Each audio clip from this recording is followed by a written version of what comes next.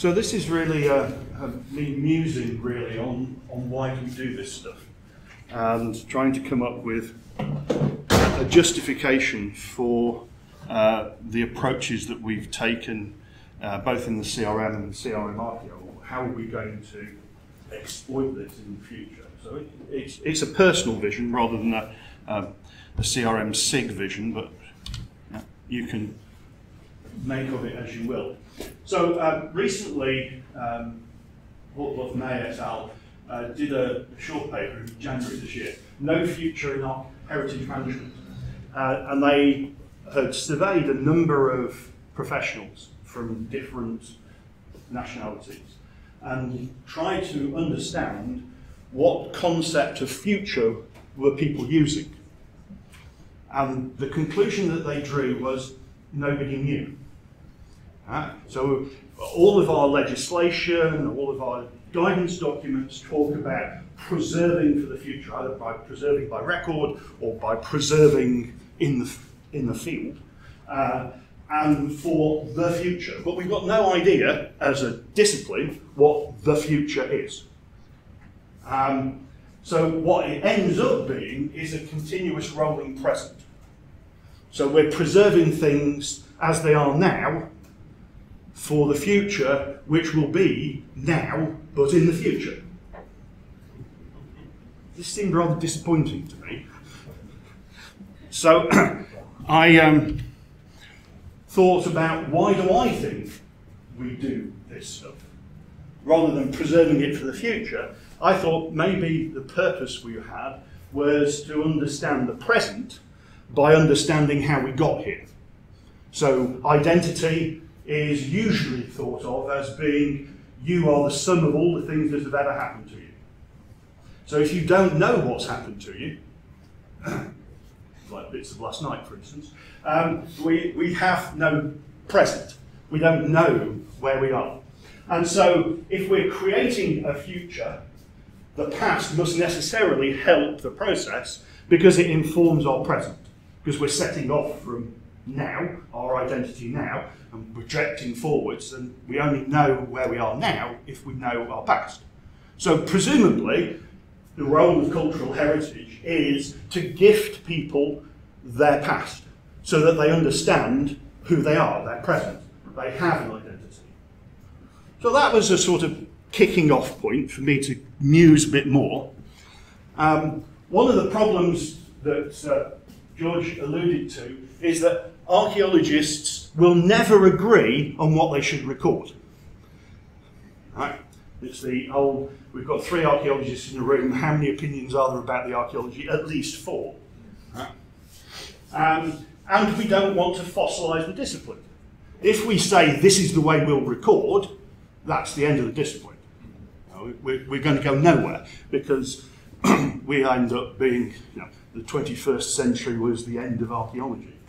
And there's no, no further development. So we don't want to do those. So trying to regulate documentation is a completely fruitless task.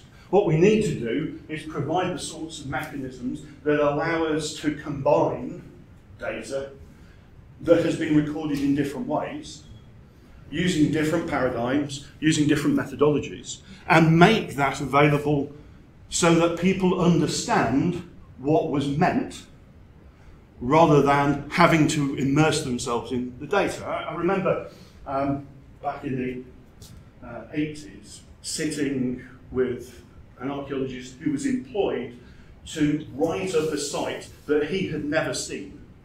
And in fact, there was nobody in the unit who'd ever seen the site. We just had a big box of paper and a lot of pottery.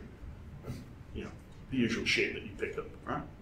Uh, and it took him 18 months to even get a handle on what was going on in this excavation report. So the idea of reusing excavation data, if it's going to take you 18 months to get a handle on each report that you want to start to incorporate the data in, it's, it scales like a bag of bolts. Nobody's going to be able to do it. You'll be able to do two, and then somebody's going to want you to produce some results. Now, 10 years ago, this month, uh, I wrote this really nifty short titled paper uh, and presented it at a conference in Athens. Um, and it, part of what we were talking about there is how do you link different um, sets of data, different data silos, and we were decrying the, um, the crosswalk methodology, which was quite common. So I'll map to you, and you'll map to him, and I'll map to him. Uh, which, again, doesn't scale well.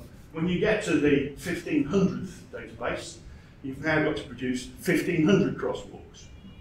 So one of the things about the CRM is the idea that we try and build this lingua franca so that we can move across. So we have uh, canoes. I thought that was they carry a payload. Uh, it goes in one direction, uh, and we comp- I compared it with with bridges, which are bidirectional uh, and produ- produce continuous feed. And I was thinking that bridges were better. That was the contention 10 years ago. Now, perhaps we can treat the future as another data island, that we're going to transmit data to it by a, a mechanism, whether it's a canoe, bundle it up and throw it, or whether we have a bridge. So we prepare our data so that it can be used in the future in a way which will be useful. Uh, what about the bidirectional bit? Uh, uh, of course, all archaeologists should immediately go out and spend all of their spare time inventing a time machine, because that would solve an awful lot of problems. But the key message of Holtorf and Mayerfeld was that we're going to hopefully move towards constructing the desired future from now, using the past to inform the decisions we want to make. And they're, they're pointing at a number of pieces of interesting work where the future is being constructed by using cultural heritage as part of the mechanism to build a future which is desirable. Now, so that might be something that's interesting. But now it's to get a little bit existential. Uh, so uh, John Paul Sartre's Huis Clos, No Exit, um, hell is other people, or listening to a lecture by me. Um, uh, and one of the things that happens in No Exit is that the protagonists who are trapped in hell can see back to their previous life while people remember them. And it's stuck with me for a long time. It's surely what we want to do is be remembered so that we can look back for all the things that we've done. So if we create a legacy, have some tangible impact on the future, perhaps we will be able to, be, to see that. It's a bit weird. Uh, I'm not all wishing you all dead, but uh, we maybe we want to be remembered for something that we've contributed. Um, Jean-Claude Gardin suggested that inference chains is a way forward for us to encapsulate the knowledge that we generate so that it's actually consumable. Because monographs are too big and too static. You know, you produce a monograph, at some point, the conclusions that you've drawn in it will no longer be valid, and nobody's going to read it anyway. There's, there's too many of them. You know? Have you read every monograph in your area that's been produced this year? No. You, you don't have time. It would take, it's, it's like my daughter trying to watch YouTube. They, they upload 140 hours a minute into YouTube and she's trying to watch it all. It doesn't work. Right? So, um, CRM Inf and CRM Archaeo are designed to enable this idea of inference chains where the high level constructs that you build, the conclusions that you draw, can be backtracked into the underlying data. So that we see where we want to see the detail down to this piece of rock was found in this hole with this piece of rock, or pottery, or whatever.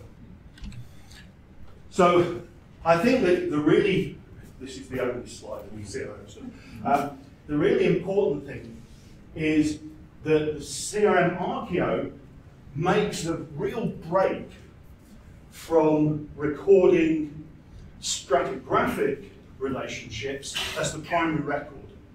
And it talks about the physical world, and then it draws conclusions from it. And it makes that link between what we saw and what we thought it meant explicit and separates them out.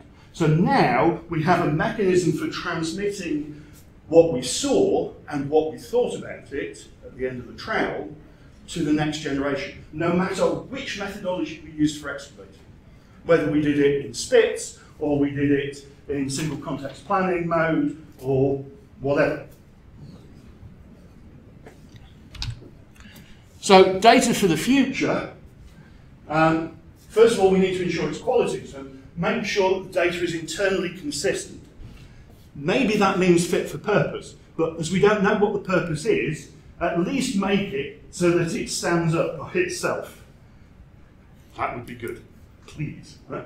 Um, make it portable, so map it to the CRM so that other people can consume it, because they then don't have to learn how you structured your data. They only have to learn how to CRM. You map it, so you are expressing your thoughts, the exact way that you want your material to be consumed, into something that everybody can consume. And so for long-term usefulness, we need it to be explicit and we need to record the empirical provenance of the data we're generating. How did I do it? So the so-called paradata needs to be embedded in the data.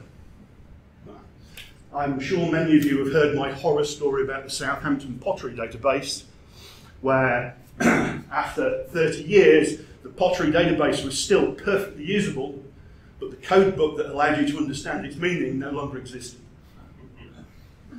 Right? So if you don't have the metadata and the paradata embedded in the data, which the CRM does for us automatically, it provides that mechanism, that carrying capacity, um, then the chances of them getting divorced and dying is quite high.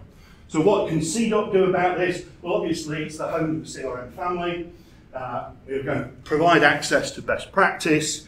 We can produce or validate content standards. So the things that you're putting in are valid, are about the right things, so recording things, but that's the communities of use thing, not the standard. Uh, we want explicit, intended, and practical scopes, which is a revelation once you start doing that properly. It completely changes the way you build standards.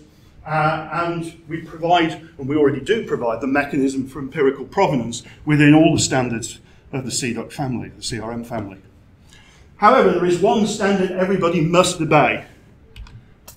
You have to be explicit. Or,